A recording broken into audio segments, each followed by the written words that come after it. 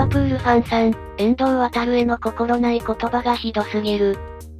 遠藤航がまさかの批判を受けているようだ。SNS 上の次のような声を紹介している。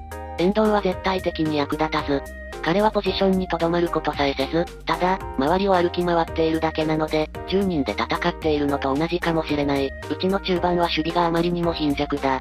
遠藤を守備的ミッドフィルダーとして先発させても、ビッグトロフィーを獲得できないだろう。彼は十分な機動力がない、遠藤は悪い選手ではないが、リバプールはこの夏、グラウンドをカバーできる守備的ミッドフィルダーを必要としている。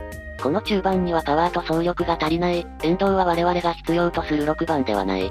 でも、我々の6番は彼だけだ。遠藤が交代してから2失点をしたのだが、そもそも下げられるようなパフォーマンスだったのか考えるファンもいるようだ。エリオット、ジョーンズも使えないってあるな。マンユーみたいになりたいのかこいつは。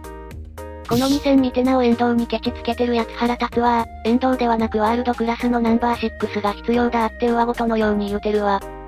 遠藤はチームが相手をタコ殴りしてる時しか機能しないからな。リーグ終盤は味方のコンディションが落ちてるし、ゲーゲンプレスのこぼれ球回収の役割はなくなる。しかしなんで遠藤を交代するんだろうね。幕張酷使して疲れてるのに。今のリバプールファンは優勝争い脱落したのと共産失点した腹いせにとにかく何でもいいから批判したいだけの人がほとんどだろう。一方今日の遠藤を評価してる冷静な海外ファンもたくさんいるけどね。遠藤いなかったら CL 権すら危うかった。流れに任せればいいよ。後悔するのはクラブチームだし。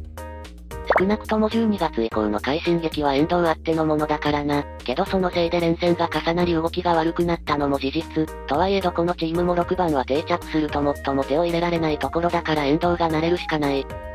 ロドリレベルを2、3人取ってくれるなら放出でいいんじゃねチャンネル登録してくれるとめっちゃ嬉しいです。どうかよろしくお願いいたします。